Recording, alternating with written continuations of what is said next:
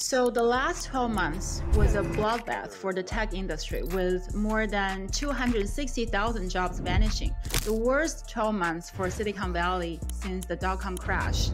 Recently, the tech industry was rocked by another round of massive layoffs. This left many in a state of surprise and stress raising questions about job security and career paths in this post COVID AI hyping era. And today we're joined by two data scientists who have first hand experience with layoffs.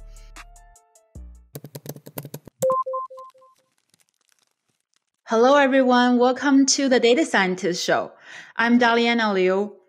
We have Susan Shu Chang. Susan is a principal data scientist at Elastic of Elasticsearch. Susan is an international speaker uh, with talks at six PyCons worldwide. So Susan was laid off a couple years ago, and then she was able to find another uh, very senior role. So we're going to talk about that later. Another guest here today is um, Sundar Swaminathan. Originally, he's from the U.S but have been living in Amsterdam for four years. He has been in growth analytics for over 13 years at companies like Uber. And now he's taking a bold move to start his own consulting business for uh, marketplace startups. He recently launched his website at sundarswaminathan.com if you want to schedule a call with him. So today we're going to talk about how to negotiate severance packages, how to handle stress, identity crisis, strategies for job hunting post layoff, and how to reduce risk in full time employment. Let's get started. So, Sundar and Susan, can you take us back to the moment of the layoff, how it happened? Uh, what did you feel at the moment? So, just to give a, a, bit of context, I actually got laid off twice in six months. So, I'll walk you through uh, both of those. And the first one I had I actually mentioned to my employer a month before that I just felt like this wasn't the right fit. It was a seed stage startup, really great team, really good founder, but I was leading analytics and experimentation and just not the right place for me. And so when the layoff happened a month later, I joined the call with the founder and immediately our uh, director of HR joined, and very instantly I knew what was happening. It's a pretty pretty obvious, and, and honestly, the most challenging thing that stuck with me is that the HR person, who I mean, you know, we're a small company, so I knew her well, and we were good friends. But it was her giving me the news, and not the founder, uh, who I had also met. You know, when we when they were even thinking about the idea or you know i was super early on so that stuck with me and i know we'll get into the emotions and we'll talk about it but i, I anticipated something like this coming because i almost like volunteered myself because I said I, I, didn't want to be there.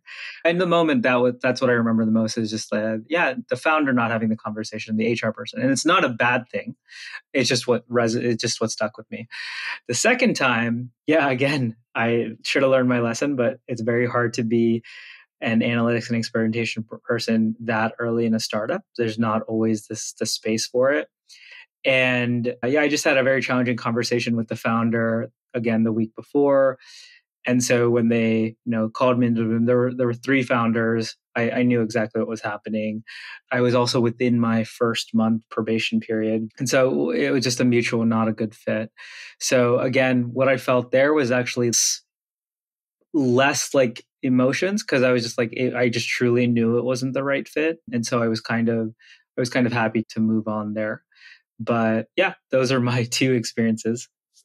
Yeah, thanks for sharing that. What about you, Susan? Yeah, so I think at the time it happened, there were maybe a few people in a batch. So then I actually, someone messaged me on DM a few minutes just before my call because so they found out already what was happening and that they messaged me and i think that I, w- I was lucky so i think i kind of went into the meeting knowing exactly what was going to happen just because they you know they had like a whole batch and then i happened to get the info but i think it was still a shock like similar to what Sundar mentioned it was like a sudden meeting with you know, some HR partner and whatnot. So it, it should have been suspicious already, but I did happen to get a few moments heads up. But it was still a surprise because just not expecting that, right? Like it's still a shock. Yeah. So what was the immediate action you took after those calls? It was actually messaging some of the coworkers that were affected and also those who may or may not have been affected, and then also notifying my family. Yeah. What about you, Sundar? Yeah, same. I, I texted my wife uh, so in the first layoff, sort of I, I think I almost remember I was like, LOL, this is happening. Because I had already kind of anticipated it. So yeah. she's like, How do you feel? And I was like, oh, I feel okay. And the other thing too is the net. So part of the context for why, you know, I think we mentioned that I live in the Netherlands is the laws are very different. And it's mm. actually a lot harder to let go of somebody. And so one of the first things that everyone has told me, and I would also recommend is you contact a employment lawyer and you just almost immediately have all of the conversations with the company negotiating your severance package et cetera go through that lawyer. And so that was the second thing i did after i told my wife was just yeah immediately contacted the lawyer just to get that process started. Yeah. So did you each negotiate your severance and what was your strategy? Because you actually hired an employment lawyer, which I think is a very smart move. So I, I think the timing was somewhere around June of 2022. And I was a, my son was due in August. And the good thing about, I mean, I mean, there's many great things about the startup that I worked at, but one of them was a really amazing paternity leave for being that early a startup. They had 16 weeks, which is one rare in general for a startup, but two, even in the Netherlands, it's pretty rare. So I knew come August, I would have August, September, October, November. And, you know, when I got laid off, basically what I said was, that's what I would like. Like I had a very vested interest in making sure I had time with my first kid. That was kind of my not non-negotiable, but that was my goal was basically saying I'd like, you know, 16 weeks. And we ended up very close to that. I yeah, I, I think I was able to get that. And they were you know they also had the incentive because otherwise it drags on the process and it becomes even more litigious and i don't think anybody wanted to go down that route. So yeah i, I negotiated and for me it was based on principle right? They had agreed to give me 16 weeks paternity leave. I was about to enter a very interesting time in my life and i i wanted them to honor that and they did. So so that's where my you know whole perception going into the negotiation went. Yeah, I think companies usually have a standard package based on your tenure, and they might give you a couple weeks um, salary. I think a lot of people are not aware you can negotiate a severance package and not just about the money about like you mentioned like healthcare benefits and also for immigrants maybe you also need to have your visa valid for a certain amount of time while you're looking for a job do you think people can also negotiate that. So, for example, oh, maybe have me on your company record for another few months while you're paying me. Did you have the experience under? I didn't have with that because, again, a, a huge advantage of living in Amsterdam is no matter mm-hmm. what, whether I'm employed or not, health insurance is $100 a month, and that's it. So, I have a huge advantage of that. The biggest thing I did have was I'm on a, a working visa. And so I have if when I get let go, I have three months to find a new role. So what was actually more important for me is instead of doing that, I asked them to just basically during those 16 weeks keep me on their payroll so that my visa extended. I would have then even longer to find a new opportunity. And, and to your point on negotiation, I think it's important to remember that while a company is definitely making it for financial decision, there's huge brand risk if they do it wrong. I think, for example, we've seen so many companies recently just be in the news because of how poorly they handled uh, a, a, layoff, a severance, or how they treat their employees. And on the flip side, Airbnb, for example, even during the few times that they did it, was really praised because of how they handled their layoffs. So you don't want to go into it just to be like, "Hey, I'm gonna, you know, I'm gonna say something bad about you," But you do have to remember that a brand does want to protect that because it truly defines how people in the future will want to come work for that company. So it's just something to remember exactly like you said there is a negotiation, there is room. There's at least it's worth having that conversation. You don't have to accept the first offer. Sometimes it is like hey, this is it. This is all we're doing. But it's at least worth having that conversation. Yeah. And Susan, I know you mentioned you didn't negotiate your severance package. Did you feel that was fair for you? Would you do it differently? I think it was all right for me. I did do my research and then it didn't seem to make a huge difference for me. I think at that time. And what did your research say? And how did you do your research for severance package? Yeah, so I looked up what was happening in the industry at the time, but then I think because a lot of the info is on larger companies, so it may or may not be relevant for let's say my region because I'm based in Canada. So then I found that just depending on folks that I talk to in the area that, you know, eh, there are some companies where it might make more sense. For me, I think I could have tried, but then I just wanted to in the end it didn't seem worth it for me to drag it out. But that's of course like I encourage people to look into their options. Yeah. Uh, it's interesting, Sundar, you mentioned the reputation of the company, especially with those viral clips from social media. You can see the CEOs of company taking the heat when their HR didn't handle it correctly. For example, there's a viral TikTok video of an ex account executive from Cloudflare recently. She filmed the layoff conversation and posted. We don't know the full story, but in the video, it showed that the conversation was handled by HR who didn't know her work very well and gave her very vague reason uh, for the layoff, and she felt she wasn't treated fairly. So, what do you think of that? So, I, I did see this one, and I think I think there's been much more. Uh, there's been growing call for transparency relating to you know work, HR issues, or things like that, like salary transparency and whatnot. So, I kind of see this as as being part of that trend.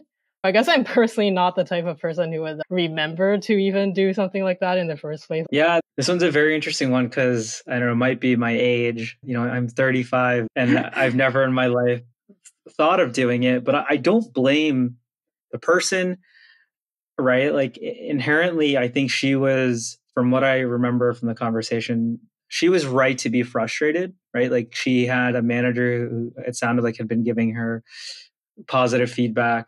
And I think the biggest mistake HR made there was they said it was because of her performance, right? I think every, not everyone, but in, if you're in the tech world in this environment, you have to understand that layoffs are a very high likelihood. And, and for so long, the full-time life has been built as this this pillar of stability and great pay and now all of a sudden mm-hmm. people are mm-hmm. realizing there's an employment at will. And that means there's the flip side to it where now companies can, for whatever reason, let you go. So the, the biggest mistake I think was on HR there from again, my first viewing of the recording of saying it was a performance reason, because then that person immediately was trying to understand what justified that performance reason because she had not been receiving that. So, again, to answer your question, though, would I tell my friend to do it? I think Susan's answer is spot on. Is a part of your brand is that part of you doing it to highlight some of the challenges working in tech right? There's always context to why you posting and even if you post it just because you're frustrated and angry the most important thing for me as a friend would be okay but just understand there are potential consequences. Like while you might be getting people being like yes amazing so proud of you you also have companies that mm-hmm. will double think for hiring you, right? And especially if you're in a sales role. So I think it's important to make sure in that heat of the moment where emotions are high, if you've recorded it and haven't posted it, great. Then take the time to truly think what is this play and be ready to handle the consequences. I just another random example is whole Budweiser. Budweiser thought they were doing something good in their one yeah. ad campaign and it just completely backfired. And so similarly, you can't A B test how a market is going to react. right. And so, yeah. so you just have to accept, right? What is, whatever happens. So I think that's, that is generally how I would talk to my friend. But I see both sides. I understand. I, I've been on both sides of layoffs and it's, mm. nobody enjoys it. There's nobody that wants yeah. to be doing it. So it's tough. It's very tough. Yeah. Oh, so you haven't been given the news of layoff for someone else? Yeah. No, I have. Yeah. Yeah. yeah. What was that like? I, I, went to school for I went to business school for undergrad, yeah. and I think a really good thing that they teach you there is it's just one class, but just like interview skills or negotiation, networking, all these skills, right? One of the things that I've really accepted is I try not to say I understand how you're feeling mm. because I don't. And yeah. and already that I think internally uh, triggers a lot of people to be like, you don't. So right. the only way to I mean, I just actually had to do it six months ago when I was at a client. And there you kind of have to frame it from like the business strategy, like, right, like they're the objective things that you know, well, it's the finances, the environment, or you have to try to remove the emotions from it it's yeah again uh, it's it is the person's lowest point and i think for them what i've always said is you need to process it in your own way. I will be here during that entire process and so this relationship doesn't need to also end right now right? If in a week you're like hey i've thought about it. I know what i want to do next. Can you help me network? Like you can bridge it and make it a human experience and I think as a manager, that's important to recognize. It's a human at the end of it, even though the decision making may have just been numbers. At the yeah. end of it, it was a human that you have to talk to. Yeah. Oh, that's so interesting. Did you maintain a, a friendship with your old bosses? Uh, how? What do you think about the relationship with your the companies that you know laid you off? Yeah. Yeah. A very interesting perspective. Um, I will say that I did not have the best. And a lot of it is when you're that early at a company, you're joining it for the mission. It's not a financial decision. You're getting paid under market. There's very low chance that your equity is going to become something. You're doing it because mm-hmm. you enjoy the mission and, and you believe in what they're building. So at the time in both layoffs, I actually, you know, I was reasonable at the time. I try to be professional, but there's of course going to be frustration. And so for a year, I never really reached out to the founders. I never like, you know, I connected with some of the other people that I was working with that weren't the founders, and I've got good relationships with them, but I never had a good relationship with the. I mean, I didn't have a, an interaction with the founders. And just like two weeks ago, I realized, you know, you never know where life is going to take you. Like we're in this for a very long time, and most of us are in tech careers for probably another 20, 30 years.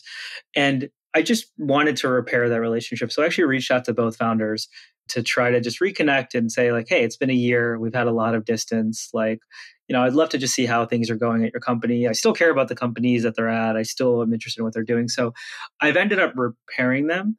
But yeah, at the moment, and it's also I think would be very different if I got laid off from like a large corporation. There, I'm just like whatever, it's a transaction.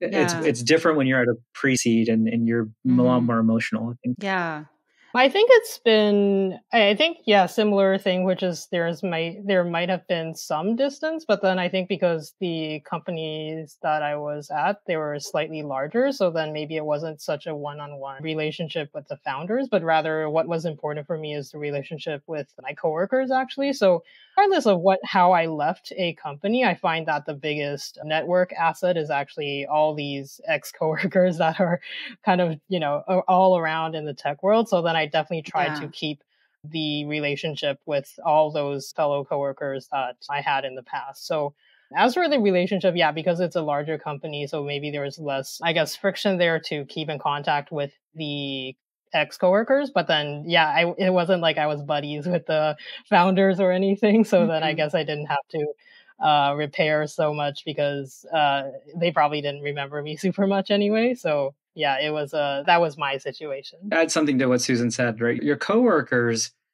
they're not looking at you going, "Oh, you got laid off. You must have been a poor performer." right? Like they actually have a pretty like they've already made up their own perspective of you.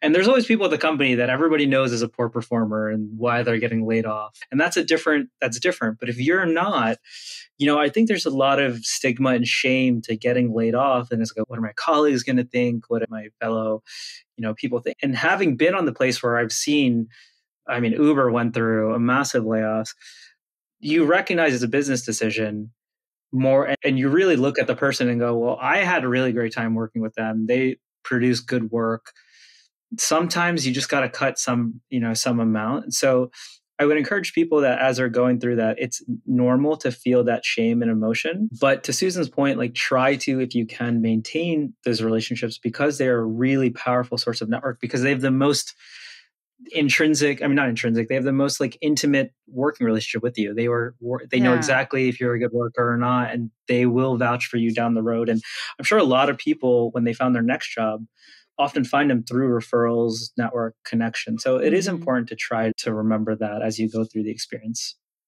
Yeah. Yeah. You mentioned you felt shame or maybe blame yourself and especially when it's a mass layoff it says more about the employer than you.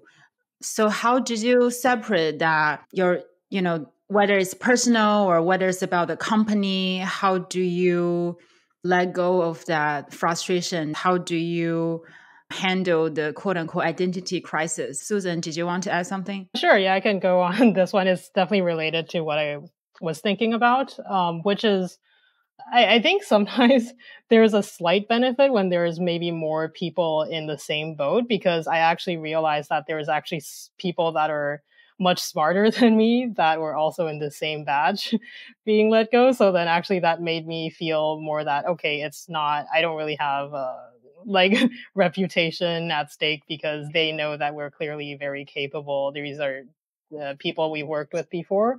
So then, of course, there was definitely some initial like regret feeling or like kind of shame feeling. But then I think just looking at everyone who's in the same boat, it's like, wow, this is like everyone is really smart. And I've worked with these people and we're in the same boat. And like, I would 100% vouch for them in any future role. So it's like, if this caliber of people mm-hmm. are in the same boat as me, then it's like, wow, actually, it's more, it's not personal I think that was the conclusion I came to, which is wow, like this is, yeah, I guess it's business. Yeah. What do you think, Sundar? Yeah. So sorry for this like long winded spiel a little bit, but I think we as humans, when things go right, we give credit to everybody else. And when things go wrong, we tend to blame ourselves. At least that's what I think a lot of people do. And especially in mm-hmm. layoffs like this. But you were the same person that had been doing good work and passed the interview and has had a successful career, like all of a sudden, it can't be my, my 13 year career where I've done really well. All of a sudden, I get laid off once and I'm now just a terrible employee. So, like, I, I've had this like mindset of just accepting if when things go well, a lot of it is because of me. And it's not an ego thing, but it's just reality of like, you know, we all probably have done really good work and we should make sure we give ourselves the credit.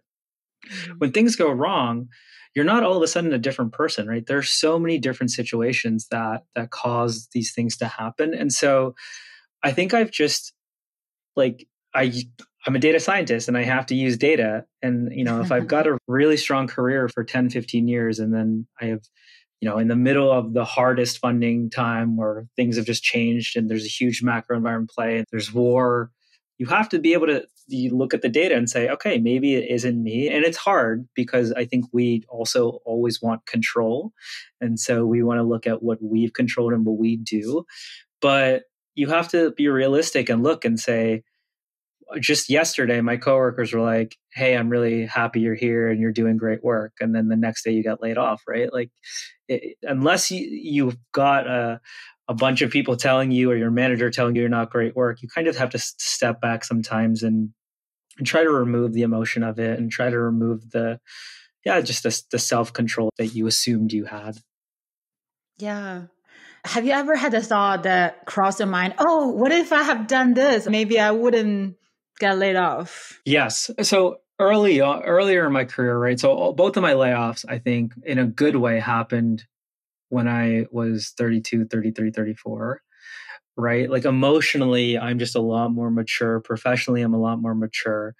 I think when you're earlier in your career, this happens a lot for promotions and mm-hmm. opportunities, job interviews. You know, I can't count the number of times analysts are like, oh, I lost that interview. And it's like, well, yeah, but you also don't know what was going through the hiring managers maybe the hiring manager had a bad day or or maybe they really just were looking for someone else and so I've thought about it a lot. Every time I, I don't get promoted, every time I didn't get an interview, I'm like, what did I do wrong? What could I fix? What could I fix? And you and there's mm-hmm. some things you should truly try to be self-reflective and improve. But yeah, there's just times where you have to if if you can't find something you did wrong, then you probably didn't do anything wrong. So, you know, it's important to remember that. Yeah. Susan, what about you? Have you ever had a thought? Yeah, I think actually what Sundar said was put it really well. So I think the way I used to think of it was more like, yeah, maybe there's a lot that I can change. And of course, like it's good to be self reflective. But then after the more I've worked, the more I realized for a lot of things that there's so many factors that are out of our control. It's kind of random, right? Like what Sundar mentioned about the interviews and like randomness of like, oh, the hiring manager's schedule or mood or I don't know, something about the resume or timing or eh, for the layoffs as well, right? It's like timing and many other macro factors that are outside of myself. So yes, of course, I think if people had been getting consistently poor feedback, then maybe there's something they could have changed. But I think for a lot of folks who um, have experienced layoffs, that probably was not the case.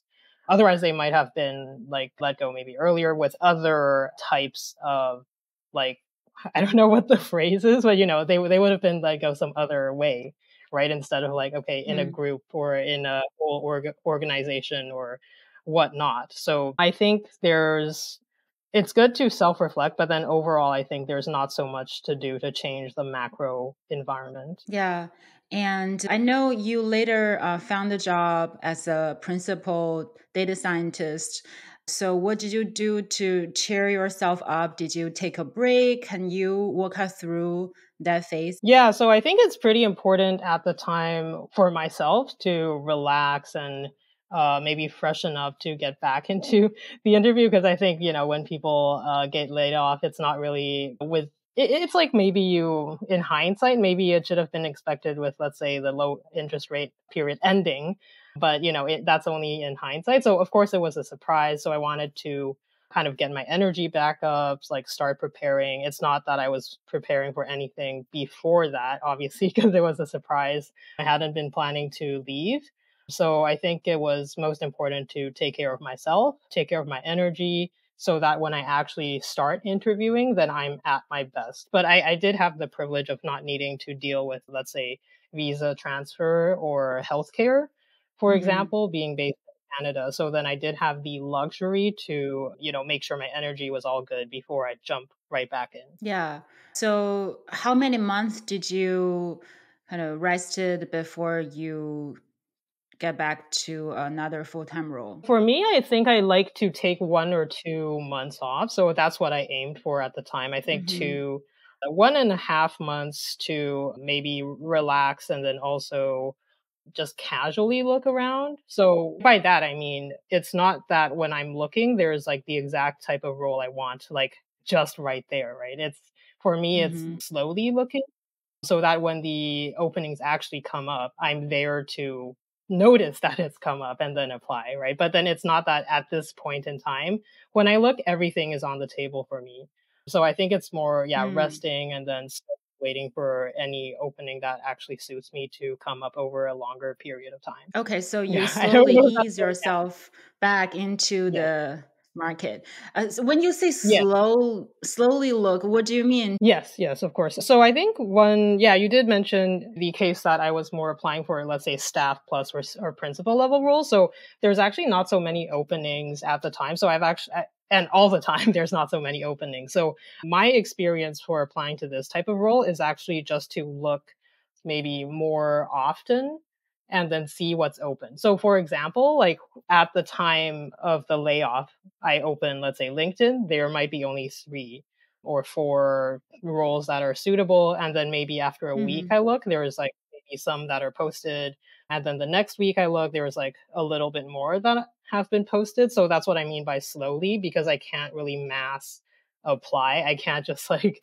send my resume to everything that fits because I think that, first of all, there's not so many openings for this type of role. Second of all, I think they're not really, for me, selecting a staff plus level requires understanding a lot about the team before applying. It's more like maybe, I wouldn't say specialized, but I have to really understand the team. So that's where the networking comes in. Like if I really wanted mm-hmm. to, if somewhere really looked interesting, I would usually like to talk to the hiring manager first. I actually did that for, I applied for three roles and I got, I guess, two offers and I withdraw from one of them. So I talked to all three hiring managers of those. So I think this was more kind of like a sniper. I don't know, that's probably a bad analogy, but just like more like a high accuracy, low spamming yeah. kind of strategy that I took.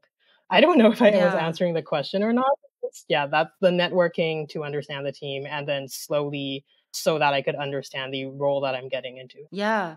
So when you talk to the hiring manager, did you figure out who are they and then message them on LinkedIn or did you ask the recruiters to introduce you to the hiring manager? Yes, this is a very good question. Let me think about this real quick. I think I actually knew all of them before.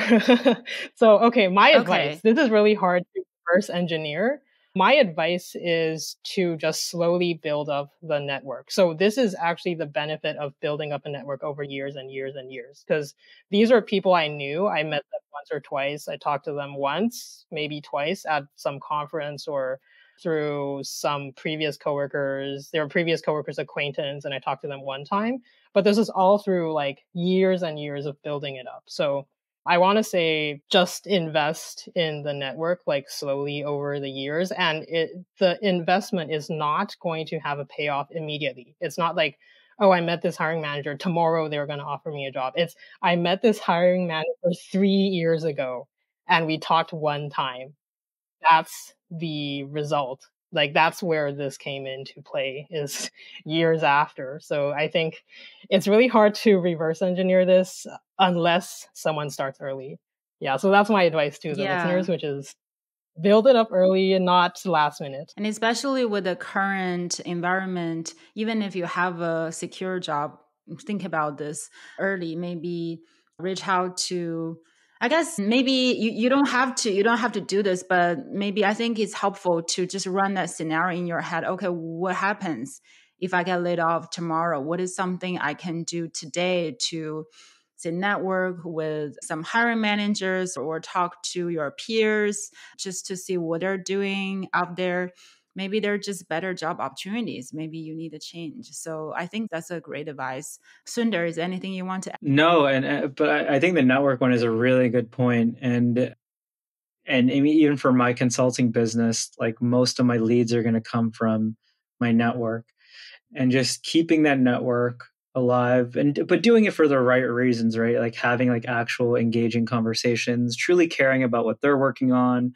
reaching out to people because you're just interested in catching up is it's a really important skill set and i think most of the successful people at like the very top ceos that level they're all just really good networkers and they have really strong powerful networks and it's an obvious skill that you know is very important for business so uh, yeah i would totally echo the con i mean the connection thing and i think for me when I got laid off twice, it was the first time in my entire career I actually had a time to pause and reflect.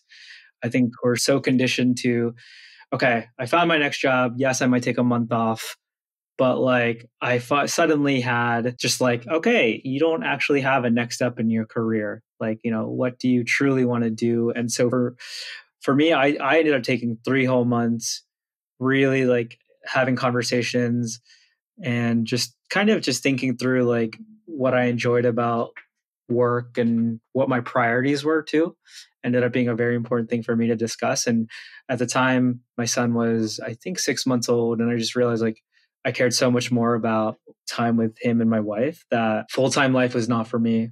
I was going to put in 40 to 60 hours a week for a company that it just ended up being something that I didn't want to do. And I was also looking at the job market. It was super tough and no job was actually surprisingly interesting to me. I kind of looked and I just I don't want to interview. I don't want to do any of this. So it actually ended up being a really powerful self reflective moment to kind of say, listen, you no longer have any conditions. What do you really want to do? The flip side is, of course, the risk of the finances and, you know, how the mental health. But it was, I, I think getting laid off was honestly the best thing that happened to me.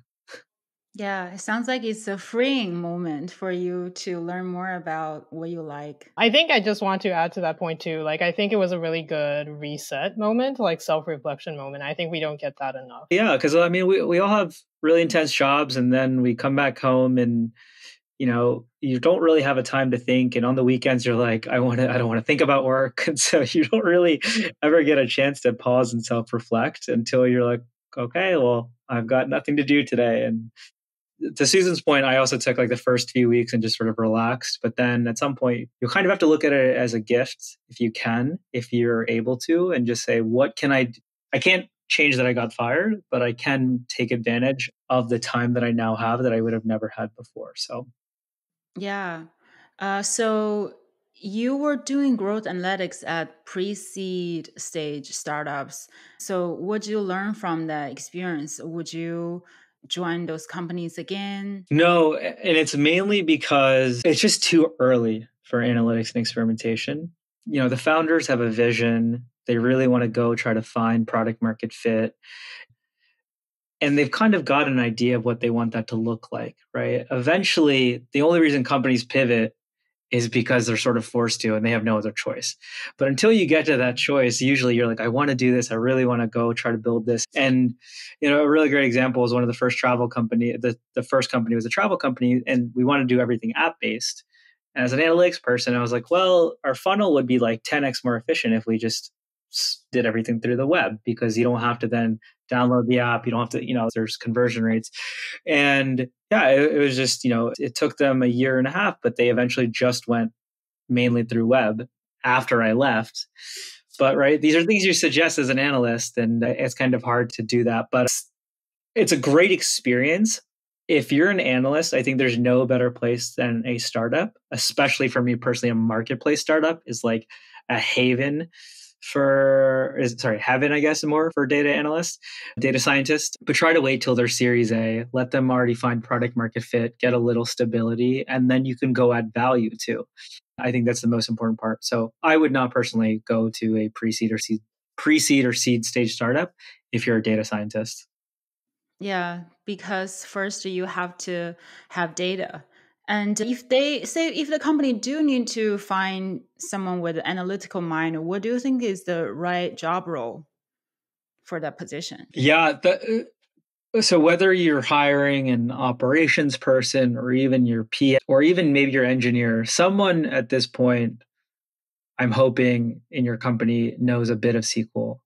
And it doesn't yeah. have to be complex SQL. You're not really running anything that crazy, right? So as long as Eh, first off before you even run sql it's whether you even have a decent like uh, table so that's the first thing is i encourage companies to just set up a base level of a, a data data warehouse and then yeah just i mean just have somebody on the team that's remotely analytical go take a sql course for like a week or two but, yeah or you can hire someone fractional for a day a week but uh, I just don't hire someone full time. I think for even for the company, it's not a good investment. Yeah, yeah. Or if you join a pre-seed company as a full-time data scientist, I think you can still join if you really like the product, you like the mission, and you're open to step into other roles. Maybe say for six months, your role is more like a data engineer or product manager or AI person. If you're okay with that, that might be, yeah. you know, still be a good fit for you. But if you are want to do something very specific, like you for, you know, growth analytics, maybe that's not a good fit. And also, I think it's interesting for machine learning, right? Similarly, you have to have data. So, Susan, when you pick companies to join, do you consider the size of the companies when you think about, you know, job security or just the quality of data they have for your projects? Yeah, I definitely agree with you. I actually had a kind of when I try to explain like what data scientists do to people, I mentioned that you would be doing data engineering if you're at a startup, or like you might be doing some data engineering at yeah. a startup. I think for myself, I when I'm looking for roles, I think it's more effective if they already yeah have a lot of the core like strategy around the data and like what they want to do machine learning on and like what's it for. But I've also been I'm also happy to help shape that or how do i put it like i'm happy to put my expertise to recommend what companies do with their data, right? But then they still need to first have their kind of main, even higher level strategy. And also, they need to have the trust in the data person because I've definitely heard from other people that I know in the field where they might hire someone and they're saying, oh, yeah, we want to do this and this with the data, but they don't trust um, this early stage data person enough to actually implement those things, or they will take the recommendations and they don't really want to implement it, or they won't, uh, it doesn't really fit into their strategy. They're kind of doing it to do it. So I think myself, I personally try to avoid those situations at for the time being. But actually, like there are some good points that um, Sundar and you have mentioned too, which is like it might depend on the stage of the company, but it also depends a bit on maybe like the life stage as well right? Because I think earlier in my career, I'm very, it's like easier to go from place to place and learn a lot. And then I think I go between stages of more, I want to build something more long term and then stages of like fast iteration. Like it just um, takes, it takes turns. Like every few years, maybe there's like a, it depends on the mood. So I think that's one thing. Yeah. So, if you want to give data scientists specifically looking for machine learning roles some advice how to evaluate companies and teams, what are some parameters they should look into? Yeah, I think I will ask in interviews if they work, if they have data engineers on the team. That's one big question I'll ask. And like, how often do you collaborate? And what's an example of past collaboration that you've had with the data engineering mm-hmm. team? Or let's yeah. say, do you have ML infrastructure? Do you have ML engineers or ML ops engineers? So then I'll ask that and then how they collaborate. And on the flip side, like we've also had a lot of candidates who we hire, they ask us that because I can, I know that they're trying to gauge how our team is in terms of the maturity. So yeah, that's definitely my method and it's pretty effective. So when you were interviewing those roles, I get that the hiring managers already have a relationship with you, but when you had those conversations with HR, did they ask you, oh, what is the reason you got laid off? Did you feel you need to prepare like a story or narrative? I think I was lucky because at the time the general industry had that. So I, I think just like on the hiring side, I can't I, I believe the HR was actually used to getting candidates that were laid off. So I think it was I was fully transparent. I think the hiring managers knew there was no reason to really keep it in, in a secret because I think nowadays when I interview people got laid off, I'm just like, wow, this is just one of hundreds, thousands of people. Uh, like it's yeah. not actually even new anymore when I right. when someone mentions that. Yeah. Yeah. So I think just that yeah. for myself too, I imagine they were thinking that also. So a lot of CEOs justify the mass layoff by citing, oh, there was a pandemic, hiring binge, high inflation, or weak consumer demand. This is a quote I saw from NPR. So why do you think the current layoff happened? Do you think it's related to AI? I'm just trying to think. Like, I, I actually think the I'm not super sure regarding like AI because I think people still need domain knowledge. It's kind of similar to when let's say Google search engine got big and then when there were more and more tools to automate things, but then we still need people who have that domain expertise or even like just deeper machine learning or data expertise to actually run these questions by generative AI because I think even when I'm using it, like I often have to correct it a lot. Like it just does not, just like for more complex scenarios, it doesn't really work out of box. It takes like an expert to be able to tweak it to do exactly what we need, domain specific. And I think I had a quick analogy about this for interviews because someone actually asked me like, "Oh, is this going to change interviews?" I know it's not about the role displace, displacement, but let's say there's some overlap there, right? So I think my analogy there was that, oh, when the Google, let's say when people started being able to just Google answers, right? Like pe- the interview still went on, right? It's not that, oh, we forbid you from using Google. We we just let them do it. If they're good at Googling, then good for them, right? like if they're good at using these tools and apps and they're able to react to different scenarios and apply it to actually specific scenarios like domain specific scenarios then I guess that's fine. But usually, if they're just blindly using it, then they cannot react well. And they would, that's the same as if they were bad at Googling, right? Like they just can't react to the answer. So I think to the point about AI, I don't think it's like at the point where it's totally it's not the same as the layoffs we had from of course like the growing interest rate environment, but I think it's maybe at a small scale at then. But maybe the numbers say otherwise. And if so, then maybe it's just like a lagging lagging indicator of all these the interest rates. Yeah. Susan, you wrote a book about machine learning interviews and now with the more Gen AI tools or code writing sense, what do you see the shift in machine learning engineer interview process? I don't really know about the folks who are working specifically on Gen AI apps, but I think people are still using very general interview loops. So even though maybe they're hiring someone called data scientist and they're working on generative AI, the interview loop would still consist of it's not going to be 100% related to generative AI in, gen like I, I want to say that's the case. The reason being that um, let's say we're hiring people over three months, right? We want to generally keep the questions the same, um, not keep changing it. Like, let's say this week we change it, next week we change it, because that's not the not, not fair for the candidate. So we're not going to just change all the interview questions to related to generative AI. But if there already are questions related to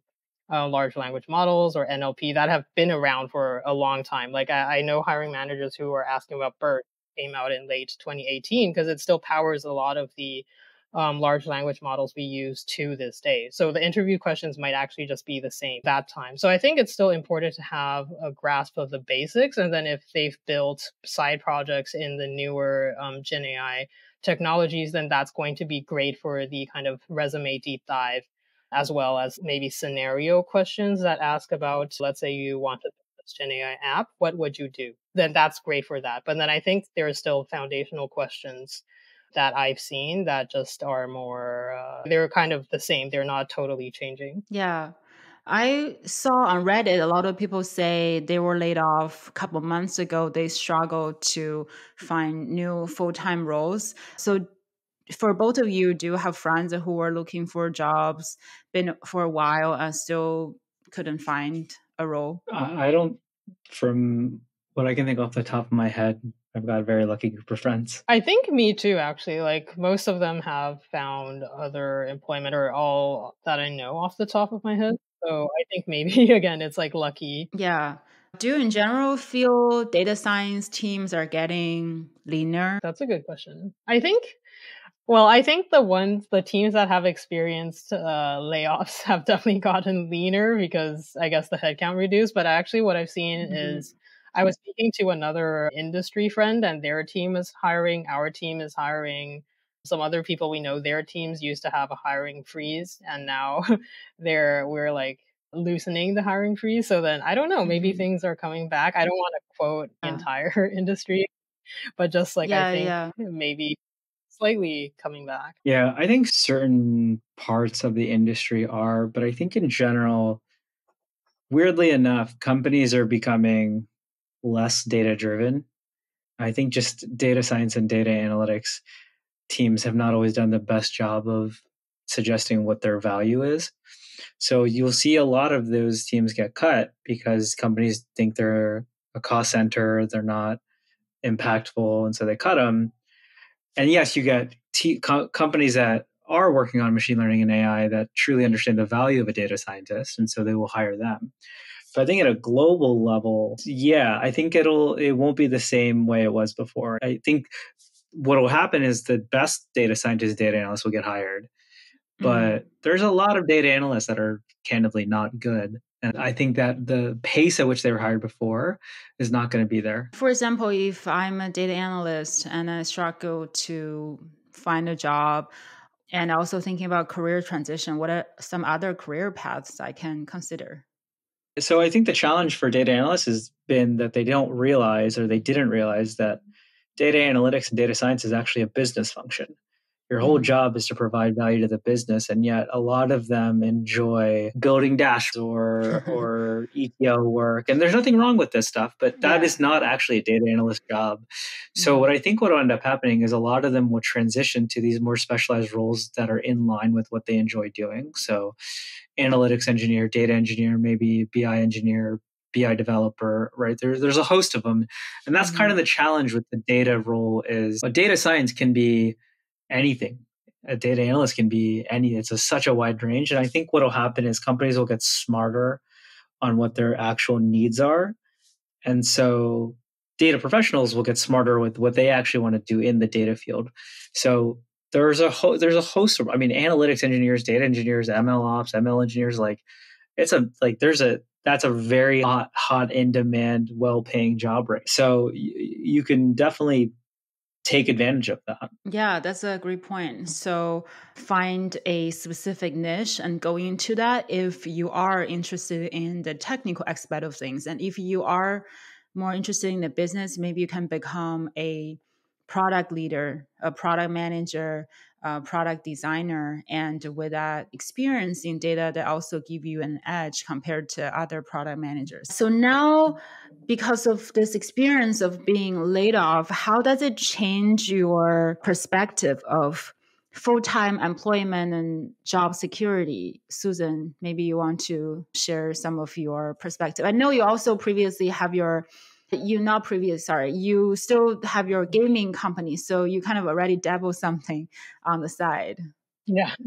Yeah. I think for me let's see i think it's still for myself just my scenario my considerations that full-time is pretty valid or pretty valuable i think because for a lot of the data things that I work on. I think I was talking to a friend about this uh, the other day, actually. So the gaming studio is my hobby, I guess, even though, yeah, I do make some small amount of income, but it's not enough to replace my full time income for the amount that I want to spend, let's say. So for me, the reason why I chose to keep that part time is because it's good. It's something I can do more solo or with a small team, right? But for a lot of the huge or machine learning initiatives I like to work on and I have been working on, it requires the work of a pretty big team right? Like we talked about the data engineers, like ML ops, right? Infrastructure. This is really hard to do as a hobby by myself, unless I, yeah, like I think Sundar has more to talk about, like on the consultant side. But just like for myself as an IC, these are the things I contribute to, and then it does require the work of a team. So that's, I think that's why for me, going back into full time makes sense. And then I think regarding the stability and whatnot, I, I do think that, yeah, like with the networking, I think let's say this does happen again, I do feel more confident that I can still remain competitive because of the kind of network I've built up over the years, the track record, um, the delivery of projects I've built up over the years. That's not going to go away. So I think for folks who are looking to stay competitive, I do think, yeah, network and continuing to learn. I think that's one thing that also maybe sets myself apart, which makes me more confident about remaining in full time employment is just continuing to learn, right? Even though I don't have to.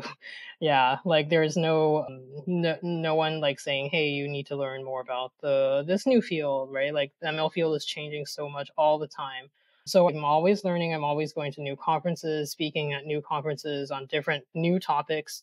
I think for candidates who do that, like there is a good chance that um, full time can stay viable. And if they want to do consultancy or kind of be, be, their own boss, then it'll help them stay competitive in the exact same way, right? So just stay ahead of the new advancements. It does require time and energy. So I do also have to purposely mind my energy so that I can spend time with my family still. So I think it's like on it, it's like very it, it's not an accident, right? It's not accident that I can do both. I, I would say.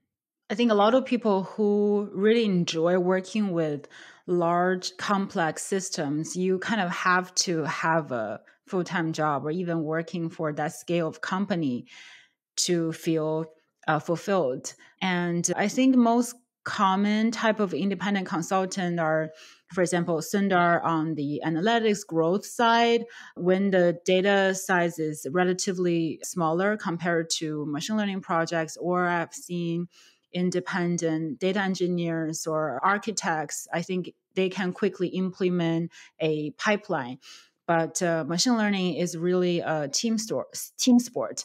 So, Sundar, you have been doing consulting for a while. So, what was your experience? What were some um, challenges you faced when you had this transition? Yeah, and just to add a comment to Susan's, I think for most people, full time is the right choice, and it's still the most stable choice. Right? It's maybe not as stable as it was before, but I think also we're always a uh, cycle ec- economies have cycles. And so we're probably in the lowest point and eventually gets a little bit more stable again. So it's important to still recognize relatively it's still the most stable choice. For me, the transition, you know, I, I announced that I was consulting in March after taking a few months to decide what I want to do. And I was able to find my first client a few weeks later through my first my old manager at Uber. So I've had a very unique and I think somewhat lucky experience. And then that client ended up being my client for nine months. So like I had one client for nine months. I was there four to five days a week, found them very quickly. Now that I've pivoted more to experimentation consulting, I'm kind of not necessarily restarting, but I am rebuilding and having more of these conversations. So, because I have a very specific service that I now offer than before. The biggest challenge is focus. I mean, I had so many ideas and I wanted to do so many things and I tried to do yeah. all of them and I kind of just realized like uh, we you know Dolly and I actually talked about this and it's like it's yeah. so exhausting. you have to focus, right? You have to focus yourself. Yeah. The the second thing is if you especially want to do consulting, you have to sell and you've never I've never had to sell you kind of have to you sell you have to sell a work but it's a different type of selling. Mm-hmm. so it's just a skill set though and it's a skill set that i've never had that i now have to work on i have to build up. And as long as i take a long-term approach and say listen over time i can get better at it i'm fine i don't want to put pressure and say i have to figure out selling tomorrow. But full so the solopreneur route is the only route that i see where you can actually choose how much you want to work. So full-time is great and you get a, a stable income for that but you can never really decide you want to go down to 10 hours this month and then 20 and then 40 right? Yeah. I can and that's okay and so i could just say listen i've worked six months this year i've made enough for this year and i just don't want to work six months. Mm-hmm. so that's the trade-off is it, it, it, comes with flexibility but you do have to earn that flexibility right? I, has, I still have to make and find consulting projects for the first six months to do yeah. that but uh, yeah, I guess the biggest challenges to answer your question were learning to focus myself, learning to sell. Um, otherwise, that's it. I, I actually have found that I get the best of what I enjoyed with full time life, which was I really enjoyed coming in, doing projects, like, you know, focusing on something for three to six months, creating some great results and then moving on. And that's exactly what i get to do in my consulting business. So mm-hmm. the the thrill of just changing and working with new clients new projects new industries that's something i enjoy but it's not for everybody. Like my wife for example is like i she's like i hate the first three months at a job because you have to like prove yourself you have to build your mm-hmm. network and your reputation. And i on the other hand said that's my favorite part. You just get to jump jump in and and just sort of make impact. And so yeah you kind of have to feel if it's the right fit for you. But I always felt something was missing for me in full time because I couldn't work on the next interesting project and I couldn't just jump and I couldn't change jobs every three months, six months. I, that is my job now. Yeah, you need that variety. Yeah. That's important yeah. for you. And yeah. uh, for people who are in a full time position, What's your advice if they want to reduce the risk of this full time employment, for example, from the perspective of financial stability, skill set, mindset, identity? And sounds like both of you have invested in time speaking in conferences or write online to build your um, personal brand. Susan, what's your best advice? So the question is to how to maintain stability Yeah, yeah. So yeah, you mentioned the conference speaking and writing. Definitely agree with those points. Another point uh, for sure is I recommend the networking. And Sundar actually one one thing I got from Sundar's question just now is that after the kind of layoff and becoming a consultant, your first engagement came from network, right? So like regardless of what happens, your next job, whether it's solo or a full time, could just come from your network. And I think that's one big thing that I've gained from my previous employers is that every time I move from somewhere, there's like this huge alumni network, right? And they just move to different companies that now I have somewhere that I have a network there in whatever wherever they go to.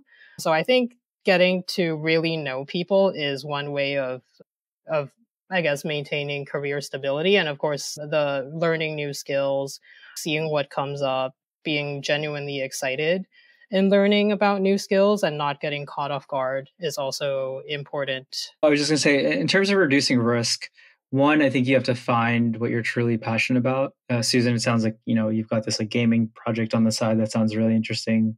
I'm I'm assuming it's a passion of yours. And the second thing is, no matter what, you have to be comfortable selling. So whether it's selling on LinkedIn through her own brand or creating that brand or doing side projects with consultancy, I think a lot of people shy away from that, but you there you have to put in the work to reduce that risk, and that work really comes through selling yourself in some way, promoting yourself, you know, figuring out that, and so you just it's a mindset shift, I would say. So if you really want to reduce your risk, find your passion and then go figure out how to sell yourself. That's like my two simplest pieces of advice. Yeah, I think a lot of people feel selling yourself, you have to be uh, cringy online or you have to be super extroverted. I think maybe you can just start with sharing an idea you feel very passionate about or something you disagree with a lot of people with. Maybe you can just write your post or blog post for just one person and imagine how helpful it is for them. So it's more about them, less about you. So this can reduce some fear and also kind of take out the ego aspect of it. Uh, I think right now there are more and more tech employees and leaders want to build their personal brand. Going to plug in my own services. I've been advised a lot of tech startup founders on how to build a personal brand. If you want to learn more about how to write on LinkedIn, how to tell a story, you can email me at daliana at dalianaliu.com. I also have a form in the show notes if you want to reach out. So before we wrap up, do you have any other advice for data scientists regarding, you know, how to handle layoffs, career transitions? I think the one thing I would say is think about the financial impact of what a layoff will do to you and sort of prepare for that mentally before. I mean, right now, the reality is you never know when who is going to get laid off. So kind of just go through the exercise, whether you have a partner or by yourself, just sort of mentally think that through so that if the time comes, and I hope, uh, you know, it never does, you're at least prepared for it. So you're not having to scramble in that moment to prepare. Just do the exercise to think through do you have the right finances? Do you have the right runway? What would you mentally do? Kind of make a plan and then just hope you never have to plan and use it. Yeah, could you elaborate on like how to calculate your runway? Yeah, rel I mean the I'm not a financial advisor, so disclaimer, mm-hmm. but I think just take your general expenses and build a 3 to 6 month rainy fund if you can save towards that. You know, try to reduce your credit card debt as much as possible. That's all you need to do. Just keep it simple, get a rough number, and just save towards that if you can. Yeah, I think agree with that. Just prepare. I, I think, you know, I'm personally like a bit of a finance personal finance nerd a little bit. So then I, mm-hmm. I, kind of had that all set up at the time this happened. So then I definitely felt more ready, less scrambling. So I, def- I definitely recommend people to think about it. Think about just like your finances, what would happen if you got laid off or if something else happened that would kind of reduce your income stream, right? So things like that. One other thing I wanted to point out was just like we work in data, right? So this is all a probability. There's no job that's going to be, it's not safe or not safe. It's more about mm-hmm. there's a higher probability of this happening or there's a lower probability, but non zero probability. So always be prepared. that's the way I was seeing it. And that's what I recommend people see it. Like there's no, it's not safe not binary there. Yeah. You mentioned you already set up your finance, maybe projection, maybe you have some simulation. So for folks who has never done this before, what are some online resources you recommend or where should they get started? I'm curious to see what Sundar has to say. I think personally, if someone's getting started, just like really track like how much you're spending in one month. Like just look at your past like three to six months expenditures look at that, just calculate exactly how much it is, multiply that by six. That's your rough mm-hmm. rainy day fund or your six month runway or one year runway. For people who are more nerdy, I recommend this thing called Projection Lab. It can simulate, like, run simulations of like if their interest rate is this much and you save this much, if your mortgage is this much, or if you get fired, what can you do? But it's not, you know, it's not prescribing you what to do. It's like you have to tell it what your uh, run projections on your own scenario. Mm-hmm. Yeah, so that's yeah. what I recommend. It's pretty fun. Yeah, yeah, same. I haven't used projection labs, but I would the calculation she said for the baseline six month exp- uh, expenses, I think is that's enough for everybody. Yeah. And for folks who, who want to also consider becoming a independent consultant or maybe just doing it part-time, what's your advice, Sundar? What's that very first step? Just talk to your network. Put yourself out there. Let people mm-hmm. know you're thinking of doing it. It's, you can't be a, be a consultant if nobody knows you're a consultant. So yeah, just yeah. Yeah, and I really like the email. I just got your email this morning. I think you send out the email to your network. I'm pretty sure it's not personalized. You didn't say hi, Daliana, but kudos to you making that first step, launching your website. Yeah, so I also know my friend become a career coach. I asked him where did he find his first client. He said, I just posted on Facebook because those are the people you already know and they hired him as a coach. This is a fun conversation, a little bit of a heavy topic, but I think we got a lot of value for our audience. Thanks again, Sundar and Susan. Yeah, thanks for having us, Daliana. This is, I know it's a tough conversation, but I think it's a necessary one. So I'm glad you were able to do this. Yeah, thanks for having us. Hope the convo can help listeners. Yeah, absolutely.